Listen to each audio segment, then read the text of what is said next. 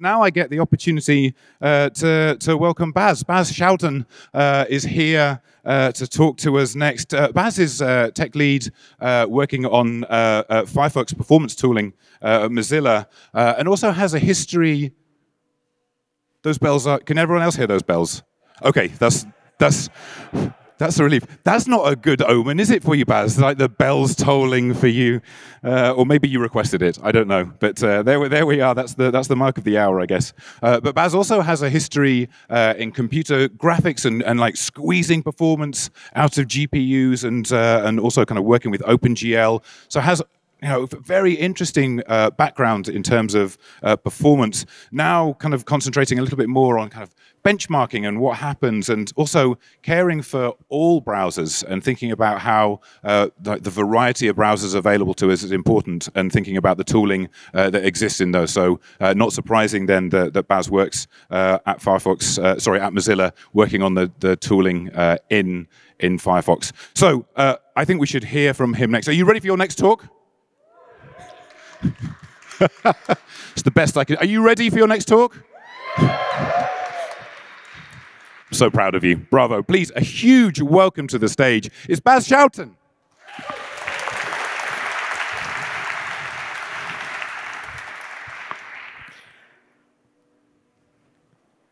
Thank you. We're all here to talk about performance. And the reason for that is obviously because we've all heard this statistic, right? One second of an improvement to page load means a 27% increase in conversion rate. Now, what does that mean? It means that one second improvement to page load, you could be selling 27% more products or something along those lines, right? These next couple of days, most of what you'll be hearing about is going to be helping you improve your websites. I'm Bas Schouten. I am a principal engineer from Mozilla, and I'm the tech lead for Firefox Performance. And I'm going to be talking about how what we can do as browsers to help your websites be faster. In reality, performance, applying performance best practices to your sites and services is much more likely to move the needle to you, for your user more significantly than anything that we as browser engineers can really do. However, the unique leverage that we have as browser engines is that improvements to the engine diffuse quickly and across the web, and they apply to all users and all websites. And so to really make the web fast is an industry-wide effort, and we need both. We need you advocating performance and best practices to your teams. And we need browsers bringing cumulative improvements to the web, making it faster for all users. And so today, I'm going to talk about how we as browsers can become better at doing that. And I'm going to do that in I know. I, Well, now you should be. It should have just been black. Is it there now? There you go. so this was going to come in as dramatic effect, right? But uh, sadly, that didn't happen. Uh, I'm going to talk to you about Speedometer 3. We've been fortunate to work with Google and Apple at standardizing a new way of benchmarking performance in browsers. So there's a couple of things I'm going to be talking about. First of all, I'm going to give a brief history of browser benchmarking so that we understand a little bit more of the landscape and how this came to be. Then we're going to talk more specifically about how Speedometer 3, how the idea evolved, and what it is now. As the next step, logically, we'll be talking about what Speedometer is measuring and how, what kind of workloads are in the benchmark and how do we pick those workloads. And finally, I'll be talking about our experiences optimizing for this benchmark in Firefox, and I'm going to look at some real user monitoring to see whether we succeeded. So I'm guessing I need to stand closer. There we go. So first, a brief history of browser benchmarks. For the early years of the web, testing the performance in browsers was sort of a niche thing, And it was happening in most browser engine code bases, but there wasn't much interest outside of that. Slow network connections and static pages meant that the performance of the rendering engine on the early web was not that important for the experience that people were having. As the web became more dynamic, it wasn't until the second browser wars erupted in the mid 2000s that an interest for benchmarks started to evolve as the technical press was writing one article after the other about what the best browser is and why you should be one, using one browser over the other, they turned to benchmarks to provide them with a quantitative way of comparing the performance of browsers in an authoritative manner. And so, what the most popular benchmarks were shifted over time. But generally, there was always one benchmark, or maybe two, that were dominating most of the public discourse. The first benchmark that was widely used was SunSpider.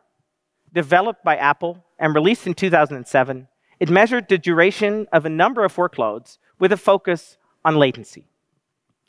In 2010, Mozilla released a benchmark called Kraken. It never really became widely documented. And the real shift came when Google released Octane in 2012. Octane was a benchmark that focused much more on complex algorithmic workloads. It had more of a focus on throughput. A couple of years later, again, Apple released Jetstream and Speedometer 1. At this time, Jetstream got most of the attention. Jetstream contained a combination of benchmarks of workloads from uh, SunSpider, Aries, Octane, Kraken, and a number of others. Um, and it tried to be a more balanced benchmark, but it continued to have issues. And in 2018, Apple released Speedometer 2. Speedometer 2 was developed with some collaboration from Google as well, and it was a huge improvement over the benchmarks we had at the time. Speedometer 2 measures a number of operations in a small to-do application called to-do MVC, and it then computes some times, a synchronous time and asynchronous time. We'll talk a little bit more about what that means later. And it assigns a score to that. While that was a big improvement to benchmarking the web, there was still a number of issues. For one, what these benchmarks still did was they forced us as browser vendors into a choice. Are we going to spend resources making our score on a benchmark better? Or are we going to focus on making our browser faster while maybe ignoring some of the perceived performance in our benchmark scores? These choices were not always aligned, and sometimes they were even in direct conflict. Sometimes a change which actually increases your score on a benchmark actually makes the real user experience worse, which is, of course, a situation that isn't great. And so let's look at what some of the reasons are for these challenges. First of all, there's representativity. Most of these benchmarks focused on complex, highly measurable, long lasting workloads. If we look at Jetstream, for example, it has a cryptography library, a 3D ray tracer, a JS implementation of a regular expression parser, a JS implementation of a Gaussian blur. Needless to say, these are not generally the things that your websites are doing in JavaScript. They have a strong algorithmic JS focus, which is different from the type of JavaScript that you are running. And on top of that, the real web is ever evolving. These benchmarks have tended to be released once and then used for years, which means that as the web evolved, they became even less representative of what the real web looked like. And finally, all of these benchmarks were developed by one of the vendors. And that means that they were optimized and tested on one browser. They were developed by experts on that particular browser. And without even trying, that means you end up tailoring to and avoiding performance cliffs in that particular engine.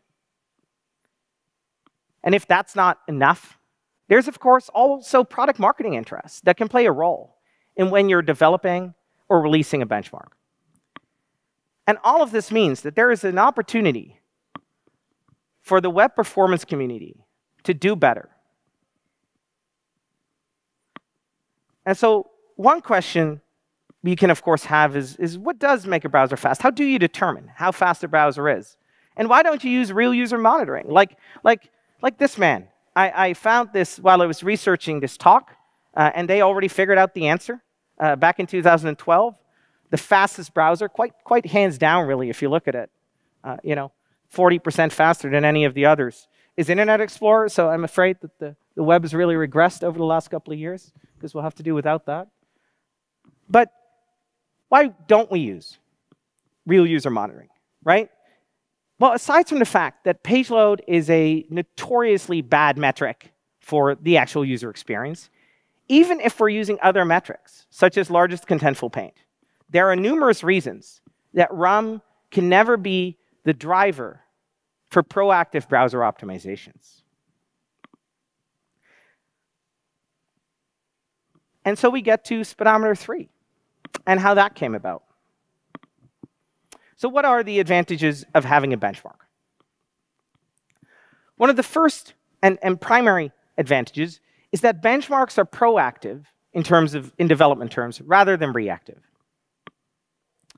Benchmarks provide a way to test features and code before they actually reach users. While real user monitoring can help optimize a browser through A-B experimentation and longer feedback loops, benchmarks can test them in the lab.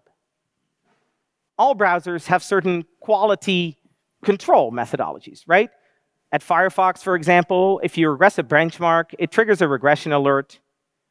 That regression alert feeds into a process where a bug is filed, and if the regression cannot be adequately explained, the patch is backed out, right?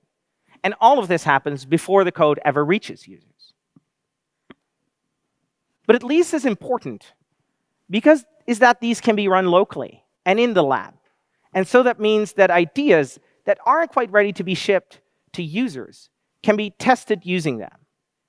And we can make decisions. We can iterate on ideas faster and discard the ideas that don't work much faster than we ever could if we were using real user monitoring. And that means that benchmarks help guide fast and good decision making by browser vendors. At least as important, browsers help us with competitive analysis. And this is to all our advantages, right? We can't do that with real user monitoring. We can't compare the real user data coming out of Firefox and compare it to data coming out of Chrome. Or take data coming out of Chrome and compare it to data coming out of Safari. These are not the same groups of users. They're in different locations. They're using different devices. They might be running other background processes because they might be more likely to use one browser at home versus using one browser at the office, right? And so benchmarks allow us to run the same workload in a consistent environment. In addition to that, for competitive analysis, they allow us to build a shared understanding of what needs to be fast. It means that we all, that all competitors know what it means to deliver a good web engine. And all of this is good for the web, and it's good for browser choice, and it's good for engine developers as well. And so this started because in the summer, did that work? Oh, there we go. and how this started was in the summer of 2021. Google had developed a number of extensions to Speedometer 2. They had added some new workloads, made some methodology changes, and they came to Mozilla and said, We really want to do something with this, and we don't want to do it by ourselves this time. By the winter of 2021, we'd internally reviewed the benchmark that they'd created, and we'd concluded that there was a legitimate opportunity to build something that was better than what we had. One of the primary requirements for Mozilla was that we wanted this to be a truly joint project. We, we contacted Apple and we spoke with them about the benchmark. And they agreed. They saw value in this. And in the summer of 2022, we agreed on a joint governance structure, and the joint governance model was landed into the now public WebKit speedometer repository. Microsoft and Intel joined Google, Apple, and Mozilla for weekly cross vendor meetings, starting to develop the actual benchmark. And in December 2022, there was a tweet, or you know, X, I don't know what to call it these days, where Microsoft, Mozilla, and Google, or sorry, Google, Apple, and Mozilla made an announcement announcing Speedometer 3. Speedometer 3 was now born. And so, what are the goals of Speedometer? First of all, Speedometer provides a place where browser vendors can talk to each other and align on what should be fast. It allows us to have a shared definition of what it means to be a good implementation of the web. And when doing that, it has other advantages because we don't have to make all those decisions based on what is most popular in our core, in the core places where we ship, right? Or for the majority of people. We can look at things such as accessibility or language features that are only used by a couple of smaller languages in the world. And we can include them in the benchmark. And now there is a real incentive for browser developers to make sure that they perform well. And that can lead to a better web experience for everyone. Another core goal of the benchmark is that it needs to allow for effective optimizations. It needs to not have the issue that I spoke about earlier. It needs to make sure that when a browser has a higher score on the benchmark, that means that it actually has become faster for real users. It can't be encouraging overfitting for specific APIs, specific frameworks, or specific workloads. And it needs to not contain micro benchmarks that encourage browsers to optimize very specific little things that are never going to actually be noticeable for a real user. And if we get this right, that means that browsers can safely dedicate their resources to improving these scores, improving the perception of the performance of the browsers, while at the same time making the web faster for everyone and your users. Now, what are the principles then that we built the benchmark on? First of all, and I think I teased this a little bit, joint governance. The benchmark is under a joint governance model, and what that means in practice is that all major changes to the benchmark that change the score or that add a workload are added by consensus between the three major browser engines, so Gecko, WebKit, and Blink. It means that the workloads need to be based on real applications. It means that the model provides for community involvement and community contributions so that all of you can help us make sure that the benchmarks workloads are representative of the types of things that you are doing. We are planning a regular cadence of updates after the release of Speedometer 2 to make sure that the benchmark stays up to date with what the web looks like at this point in time, or at that point in time. And finally, it needs to be simple. The benchmark needs to run in any tab without special tooling And it needs to be quick. It needs to be fast enough that a user can look at it to make a browser choice so that the tech press can run it when writing an article. And finally, it needs to provide what all benchmarks have done over the years, a sing, still provide a single authoritative score that tells us how well a benchmark performed. All of this sounds pretty obvious, but it is actually quite hard. And so I'm going to talk a little bit about how we define the workloads that now make up speedometer 3. So, defining new workloads. First, let's talk a little bit about what speedometer measures. Here you can see a profile of speedometer of one specific workload. You can see that there's these two things. There's a sync time and an async time. And I want to talk a little bit about what that means. Each workload consists of a number of JavaScript commands that simulate certain user interactions, right, and that trigger a bunch of work. The synchronous time is relatively easy. You put some performance timings around those actual JavaScript commands, you execute them, and you measure how long it took. And that's your sync time, voila, easy. The async time is a little harder. What you're trying to capture in the async time is all the things the browser does next to ensure that whatever that workload is trying to do has actually shown up for your users. And that's tricky. It can be tricky because it may not, you may not be measuring the same things between browsers. So what we've actually done, if we've, we've included um, a measurement based on request animation frame, um, set timeout zero, force layout, and we've put a bunch of those things together in kind of a clever way. And that actually gives us a pretty good approximation in all of the browsers between how much time the browser took to actually display that content. If you look at this, you can see that up here, those, those times actually, they have a little bit of different things in them, right? If you look at the sync time for this particular test, there's uh, quite a bit of layout here, the purple that you see here. And if we look at the async time, there's actually a significant block of JavaScript, which is the yellow here, then some layout, some painting, and some other things, some styling. And so this is actually capturing most of the relevant work um, that is happening in these benchmarks, or that is happening in these workloads. And so the next question is how do we actually decide what workloads to run? And that's not easy.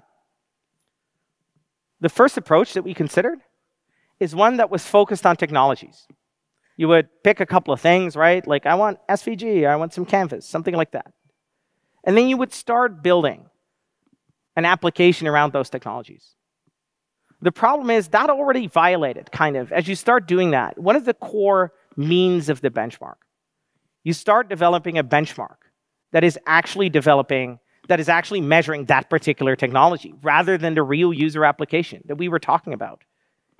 It very easily becomes unrealistic and you start overfitting for the particular technologies that you're choosing. And some technologies may actually be much more common across different applications. And those deserve to get more coverage in a benchmark, right? Another approach that we considered was taking existing applications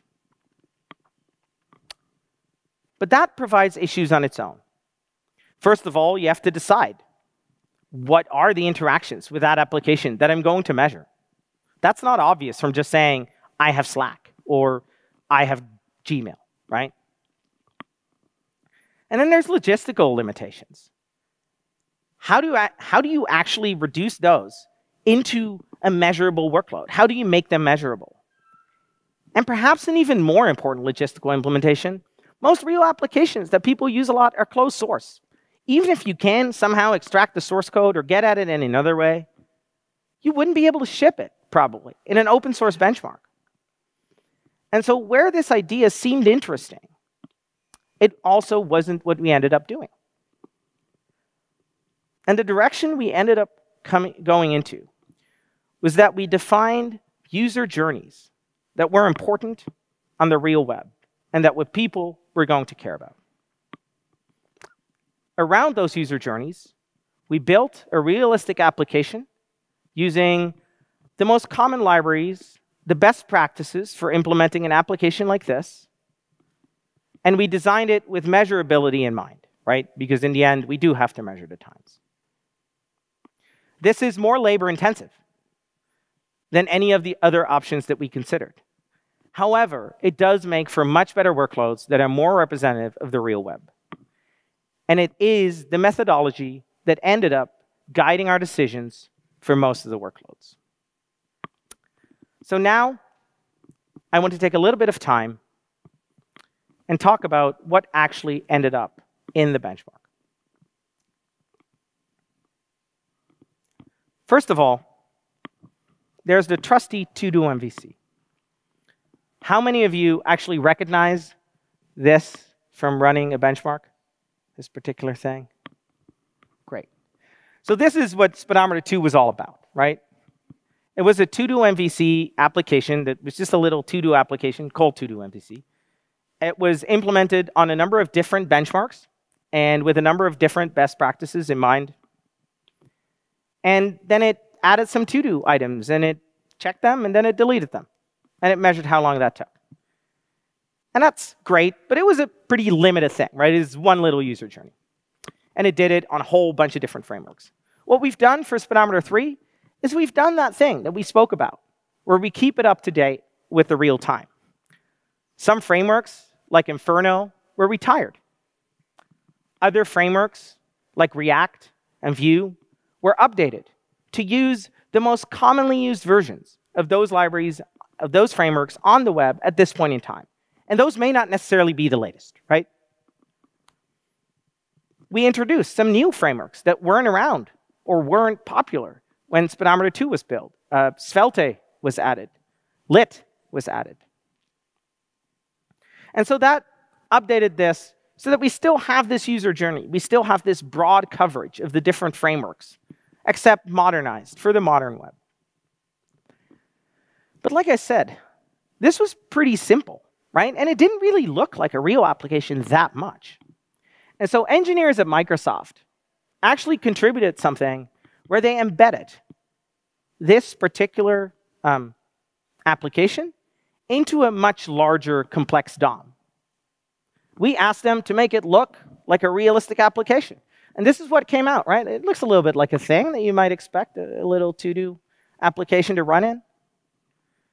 And it provides a much more realistic layout tree, much more realistic CSS style sheets and things like that, right? And while it may not be obvious, considering the workloads that we run here are identical, we're checking the same, we're adding the same items, we're checking the same checkboxes, and we're deleting them again. It may not be obvious that that should be slower, but in every single browser, there was a significant increase in the duration of the tests when we made these changes because there's a more complex DOM to render. There's more CSS rules to match, right? And so we believe that this is a significant improvement in the representativity of the to-do MVC workload. Another thing that people care about on the web is looking at charts.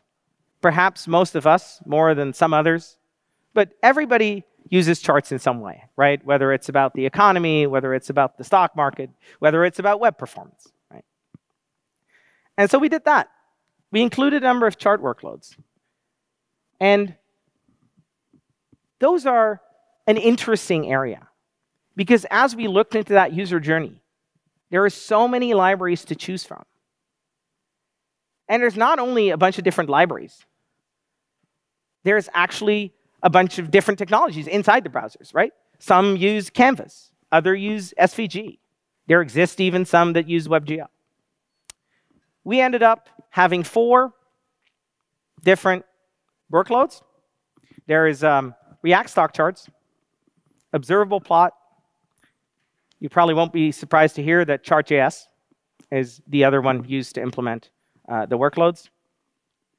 And there's my personal favorite, which is Perf Dashboard. And Perf Dashboard is kind of cool because the workload was built based on Apple's performance monitoring tools. So that means Perf Dashboard is now monitoring the performance of Perf Dashboard.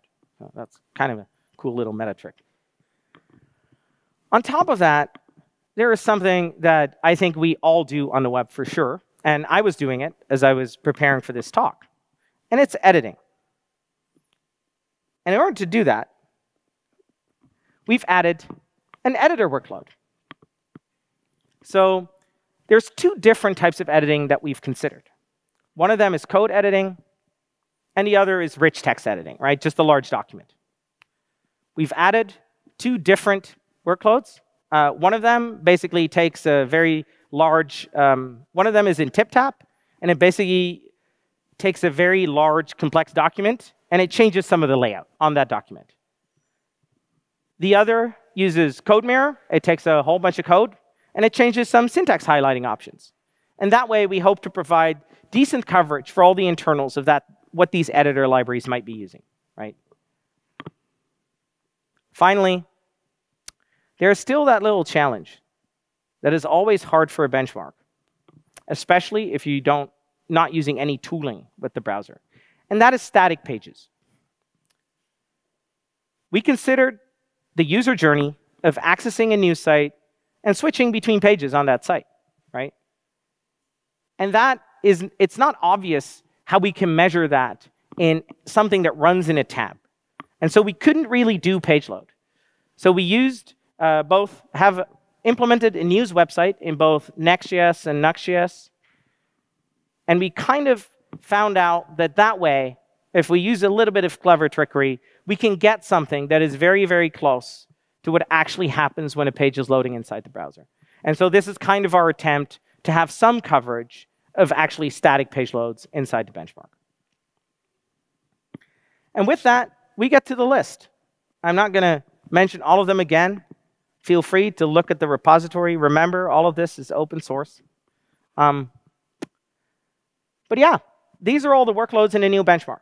And please remember that this is not final. When we are iterating, we're not just looking to update. We are looking to expand. We are looking at ideas as to how to expand our methodologies such that we can still run inside a tab, but actually measure more types of things. As I said, the benchmark is open source.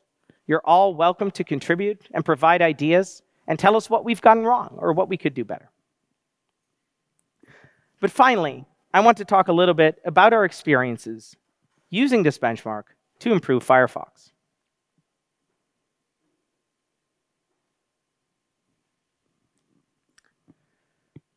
So when we are improving Firefox, we do so using the Firefox profiler, right? And so if we look at this is kind of a view of the Profiler UI. And we've tried to do some things as we develop Speedometer 3 to actually make it more usable for browser developers to actually use it to optimize. And so one of the things we've done, if we've added these performance markers, you can see them here, right? We've seen them before when I talked about the methodology. There's all these performance markers that tell us exactly when the workloads were running. And now we can use those performance markers to filter out the samples of the profile that are actually relevant to this particular workload. And that means that we can look at exactly what a benchmark is trying to measure. If we look here, we can see almost immediately when we do that, right? You can see that we filtered here. And now we can see that almost all of that time inside the workload is spent in this canvas event ring buffer thing, wait on read count or something like that. And so that is basically us just sitting there waiting for the canvas to actually render its content. Now that's kind of interesting. So you dive into that a little bit further, which we can do because of the filters. Yeah. And then we find out that if we look at the entire benchmark run for this particular test, which is the chart.js test for the record, 34% of our time is spent here for a total of 760 samples. And this is not some contrived benchmark, right? This wasn't us writing a benchmark for Canvas and flooding it with commands and then going, oh, look, we filled it up, right? This was running a real website running a real framework and doing a rendering of a plain chart. And we were hitting those limits, right? And so now we knew that we have a problem. And once we know we have a problem, we can go and spend some time on it. This profile was taken at the start of this year. And if you look carefully at the brown boxes here, they represent the measurements of the benchmark.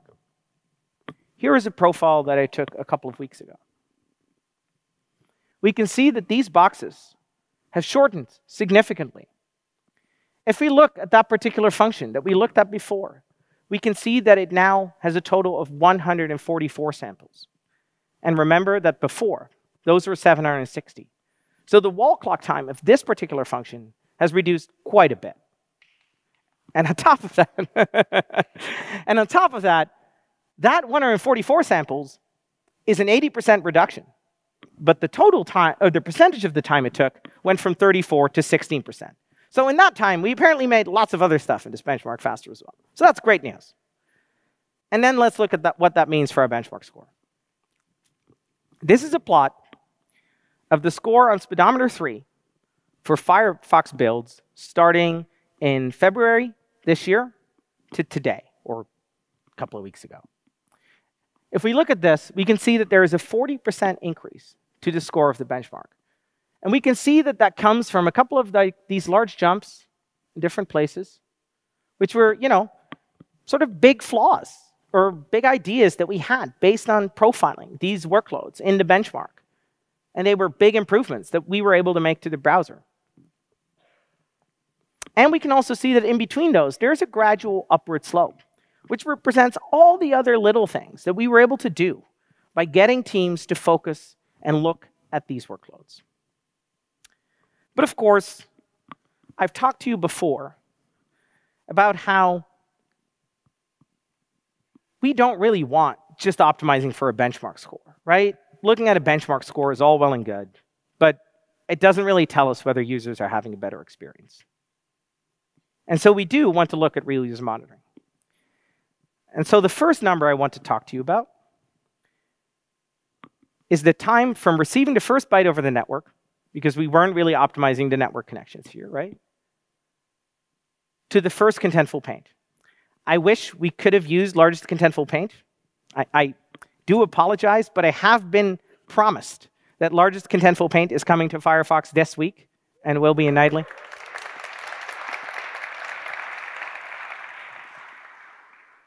But we're going to have to do with first contentful paint for now because that's what we've been tracking for the last year. And we see this. And if we look at this, this is the median, right? Be careful. This doesn't start at zero, obviously. We haven't made them instant yet. Uh, but it starts at roughly 255 milliseconds at the start of the year. And the median drops down to 215 milliseconds. That's a 50 millisecond improvement, or a 45 millisecond improvement to first contentful paint, right? To the first change that somebody sees when they're trying to load a new page. And that's a great result in itself already, right? You can see, by the way, that this is not just the web getting faster. I, I, can see how that would be a tempting explanation, but if you look at these little areas here where the big movements take place, those are all uh, when a Firefox release occurred, right? This is all data coming from release. Now, we did look a little bit about what did we make faster? How did that happen? And so another metric that we track is the time that we spent executing JavaScript code between a navigation start and the onload event, right? So this is basically the time that we spent, how fast we are able to execute the JavaScript on pages. And for this particular metric, we are going to look at the 95th percentile because that represents those pages with the heaviest JavaScript, right? Those represent the pages that we are really need to make faster. And if we look at that number, we get, see something even cooler. When we look at that, we see that that was hovering around 1600 to 1650 milliseconds, 1.6 seconds of just running JavaScript. And today, it is hovering around 1250 to 1300 milliseconds. That means that we are spending 300 milliseconds less on at least 5% of all pages before the page load event. If you look at the median, you see improvements of up to 100 milliseconds, so half of pages have improved that much. And that's just how much we sped up JavaScript, right? So I want to think back to where I started this conversation. One second improvement to your site makes a 27% increase in conversion rate, or at least that's what the stats tell us. This is a 100 millisecond improvement or much more to 50% of the web. And that is the kind of thing where browsers can make a difference for you and your products. And finally, I want to talk about one more metric that is not page load related, and which is a little bit like INP. It's a metric we treasure, uh, we measure and treasure, um, called key press present latency. It is the time between receiving a key press from the operating system and actually presenting the result of that key press onto the screen. So it's kind of like an INP just for key presses, right? Again, I will be looking at the 95th percentile. The reason for that is simple. If you're typing on Google Docs, you expect most of your key presses to be pretty much instantaneous, right? It's not that interesting to look at the median for this. But the slowest ones are the disruptive ones. And so if we look at the 95th percentile, we see the following. We see that at the start of this year, that hovered sort of around 65 milliseconds. And a bunch of improvements came in here. And now it is sitting around 59 milliseconds. A six millisecond improvement might not seem like that much. But for the 95th percentile of key presses, one out of every 20 keys that you're pushing, it means that a lot more key presses are showing up instantaneously for users today. And these are not just results that we are seeing. Google and Apple have both reported that they've seen correlations between the benchmark scores in Speedometer 3 and their real user monitoring. Apple has mentioned that in CI, Speedometer 3 has caught a regression that none of their other tests had caught, and it prevented it from shipping to their users.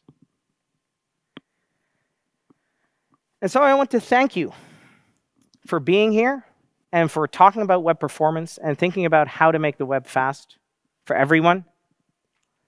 We are very grateful for the effort that other browser vendors have spent making this a success. I believe that I've been able to convince you that we can build a benchmark that helps us make the web better. But that doesn't mean it's done. We need the benchmark to become even better, and we need the help of the web performance community to do that. We need to know the types of things you are doing, the types of things you are planning to do, and we need to ensure that the browsers are good at doing them. Speedometer 3 is likely to be released in the spring of 2024. We're not going to change the workloads there, but there is going to be a speedometer 4. We all are already working on it. Remember that this is all open source. You can look at it. You can look at the developments that we're making. And I hope that you all have a little bit more of an understanding now of what we as browser vendors are doing to try and make all of your pages a little faster. Thank you. I think it's time for some Q&A.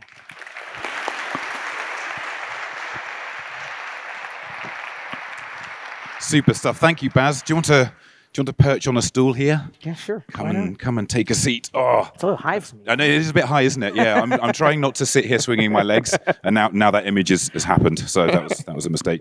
Um, thanks so much. It's so fascinating to get a glimpse into this aspect of browser engineering. Um, and you know, one of the one of the first kind of questions that came in was about the the biggest performance wins that maybe we've seen. You showed some interesting kind of stats there about some real gains that have been made. But can you think of you know, what's the biggest performance win that you know you've had as a browser engineer? In all of yeah, sure. I mean, why not dance in the in the limelight for a second? I think the biggest for me, like for me personally, but it's not not something that anybody ever noticed. Uh, it was actually my own mistake. I had I had left code in that meant we double buffered something that didn't need to be double buffered and I fixed it. And it didn't really make things faster, but it, it prevented this extra copy, right? That, that was fast, but it used a lot of energy. And I ended up using a combination of, of telemetry and knowledge of, of electricity production mm. to calculate how much energy the planet had wasted um, with that extra copy over the last six years that I left that bug in. Right. And I cannot do anything anymore to, okay. to make my carbon footprint any worse. Okay. To be honest. That's what a, what a, what but a, that was my favorite bug to fix. It was quite easy as well. I, lo- I love the answer of, of like my best gain is fixing my biggest disaster. That's great. I mean, I, I think we can all relate to that in, in some aspect. But actually, that leads me to, uh, onto a, another question I had since since you were talking about performance games that we've seen in terms of speed and efficiency, and I was wondering do we also are measurements being made specifically about energy consumption as well or i mean can we can we just correlate the two so it's faster so it uses less energy or I, am just wondering about the specifics of that because it feels like a really important topic as we, as we use the web. more. It is really important, right? I think that uh, uh, as far as we publicly know, and uh, the people from Google can disagree with me if they should they should do so publicly if I'm wrong. Uh, but I think that Microsoft has been the, the party that has historically done the most measurements on this mm-hmm. that have been made public. Um, we do try to do some measurements, but they're not automated. I'm, I'm not sure what Google is doing at the moment. So we're, we're not really measuring that. But we do believe that the amount of CPU cycles that you use is a pretty good proxy. And we do use those as a, as a proxy in our real user monitoring as well, actually looking at, so not at the speed, right, but the actual right. cycles in total that you use. Right. And that's complicated because if you're using multiple cores at the same time, mm -hmm. um, you might be using a, in total slightly more cycles, but you could still be more energy efficient if yeah. it means that that particular execution unit can be powered down more quickly, right? So it's a little bit, it's a very tricky domain. Um, we could definitely be doing better, yeah. I think. Um. It's, and it's, so, it feels like a. But speedometer doesn't really take it into account, right? Sure. Also, because we can't even. One of the problems is that if you get any idle time in the benchmark, mm -hmm. the CPU starts throttling down. And so if you would leave idle time, you could become faster, have more idle time, and get a lower score. Because by the time right. you get to the next workload, yeah. the CPU has throttled down more. And so it needs to throttle back up. And that goes directly against the idea of a higher score means a better sure. performance. God, it turns out this stuff's complicated. Who knew? uh, yeah, who knew? Um, uh, so it, it's almost like you know, it is a bit of a double-edged sword, isn't it? The fact that devices are getting more powerful. You know, we're putting more and more effort into you know making them more efficient and being able to uh, crunch crunch more data and you know be faster with the the CPU, CPU and GPUs exactly. Um, as the tools that we as developers get access to get richer and you know we have you know you showed like fr frameworks and meta frameworks being used as well. Um, I, I, wonder to what extent as we see some of those libraries and frameworks get very popular does, do that, does that dictate or lead browser engineering to kind of cater specifically for those over and above or as well as the, the platform itself? Um, and and is that a good or a bad thing? I just I wonder what's what's leading what I think that the reality is that frameworks are largely leading the browsers. I know that, that Google has at least some, some context with the React team. Uh -huh. uh, we don't. Like, we just need to make fast whatever the web throws at us, right? We, we don't. Right now, we don't have those connections. So I think they're leading to some extent. I think that I think it's going to be hard to to make power usage improvements specifically geared towards you know the way that frameworks use the web. I think uh -huh. something that lots of speakers here have mentioned is do less things with SPAs. Uh, the last talk obviously talked about that a little bit. Is going to have a significant impact right. on your energy consumption, uh, right. which may not help you directly, but it's going to help the planet. So right. You know, it's still going to help all of us. Yeah. Um, and, and there were there were some questions as well about you know how uh, atomic and how um, uh, specific some of the things are that uh, that get benchmarked in in, in speedometer, uh, such as I mean, do you go down to the level of well how how quickly can we uh, render image like an image or nope. a uh, a video? No, we very explicitly don't do that because okay. you get that risk of overfitting for one specific thing that you decide to measure. So we when when when, for example, if we take the to-do MVC benchmark, right, we add an item to the list, and then we just measure how long all of it takes. The, adding it to the tree, yeah. uh, you know, whatever frame we do, the hydration, all of that. It's just one big measurement, uh -huh. and we try to capture it all using that synchronous and asynchronous block. Got you. And if we look at something um, more like the editor workload, right? I think what we do is we bold a whole bunch of the text or something along those lines. Okay. But we, we do that and we measure the whole thing. We try to measure the painting of that. We try to measure all the updates that means storing it, uh, all that stuff, right? Um, so we're very explicitly not Understood. Trying to do those kind of Okay, my very, very final question. Uh, you mentioned about uh, uh, uh Speedometer 3 being open source. Uh, what's What's the best way that people can contribute to this or, or help? Is it in defining some of these scenarios and workloads or something else? I think there's a number of things. I think contributing user journeys that you believe are really important on the web and that we are not currently testing would be a good one. I think telling us if we're like we develop these these applications, but but we're not really web application engineers generally, right? We come at it from a very different perspective. If we've made mistakes in terms of the best practices that we believe we've applied, that's really useful feedback. But we also have room in the repository for experimental workloads. So if people want to contribute a full workload, uh, like a full application with a workload, that's fine. And, and there's an experimental branch that this can go on. It, it's not guaranteed that it gets into the benchmark, uh, but it makes it easier for browser vendors to measure. And in the long run, who knows, it might make for a workload that actually gets benchmarked. Excellent. And into the score. Right? Valuable contributions uh, all around. Thank you so much for a wonderful talk. You, I think you're going to make yourself available up at the, the, the speaker table uh, around sometime during the lunch break. Uh, so uh, if you didn't get some of your questions uh, asked and answered, uh, then you can uh, certainly uh, go and find Bas during the lunch break. But for now, thanks again for a wonderful talk. Uh, everyone, a giant round of applause, please, for Bas Schouten.